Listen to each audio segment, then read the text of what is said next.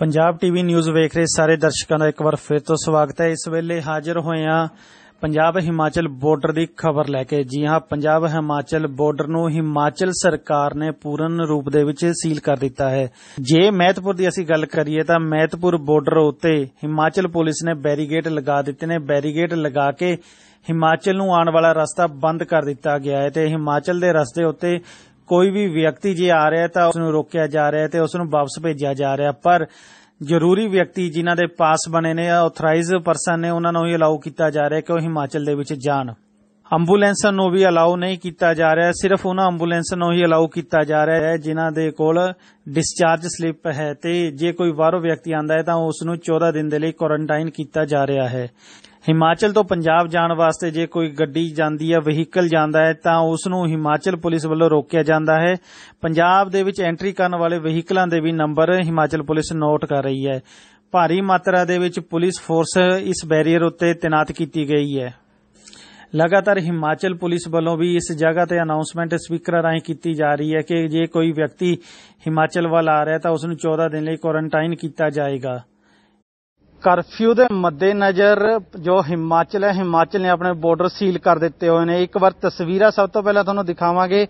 ਤੁਸੀਂ ਵੇਖ ਸਕਦੇ ਹੋ ਮੇਰੇ ਬੈਕ ਸਾਈਡ ਤੁਸੀਂ ਤਸਵੀਰਾਂ ਵੇਖ ਸਕਦੇ ਹੋ। ਇਹ ਪੰਜਾਬ ਤੇ ਹਿਮਾਚਲ ਦਾ ਬਾਰਡਰ ਹੈ, ਮਹਿਤਪੁਰ।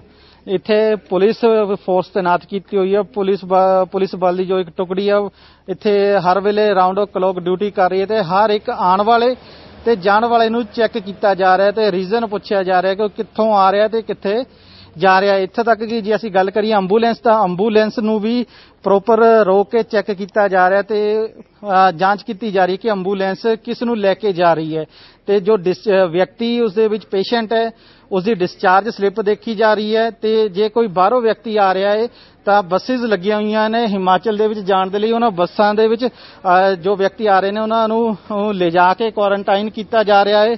ਤੇ ਸਭ ਤੋਂ ਵੱਡੀ ਗੱਲ ਇਹ ਹੈ ਕਿ ਹਿਮਾਚਲ ਤੋਂ ਜੇ ਕੋਈ ਪੰਜਾਬ ਵੱਲ ਨੂੰ ਆਂਦਾ ਹੈ, ਤਾਂ ਉਹਨਾਂ ਨੂੰ ਵੀ ਇੱਥੇ ਪੂਰੀ ਤਰ੍ਹਾਂ ਜਾਂਚ ਕੀਤੀ ਜਾ ਰਹੀ ਹੈ। ਉਹਨਾਂ ਨੂੰ ਚੈੱਕ ਕੀਤਾ ਜਾ ਰਿਹਾ ਹੈ ਤੇ ਰੀਜ਼ਨ ਪੁੱਛਿਆ ਜਾ ਰਿਹਾ ਹੈ ਕਿ ਉਹ ਕਿੱਥੋਂ ਆਏ ਨੇ ਤੇ ਕਿੱਥੇ ਜਾ ਰਹੇ ਨੇ। ਬਿਲਕੁਲ ਜੋ ਤਸਵੀਰਾਂ ਤੁਹਾਨੂੰ ਦਿਖਾਈਆਂ ਨੇ, ਪੰਜਾਬ ਹਿਮਾਚਲ ਦਾ ਬਾਰਡਰ ਮਹਿਤਪੁਰ ਹੈ, ਜਿੱਥੇ ਹਿਮਾਚਲ ਫੋਰਸ ਲੱਗੀ ਹੋਈ ਹੈ ਤੇ ਹਰ ਇੱਕ ਵਿਅਕਤੀ ਨੂੰ ਸਖਤੀ ਦੇ ਨਾਲ ਪੁੱਛਿਆ ਜਾ ਰਿਹਾ ਹੈ ਤੇ ਰੀਜ਼ਨ ਪੁੱਛਿਆ ਜਾ ਰਿਹਾ ਤੇ ਸਿਰਫ ਉਹਨਾਂ ਵਿਅਕਤੀਆਂ ਨੂੰ ਹੀ ਅਲਾਉ ਕੀਤਾ ਜਾ ਰਿਹਾ ਹੈ।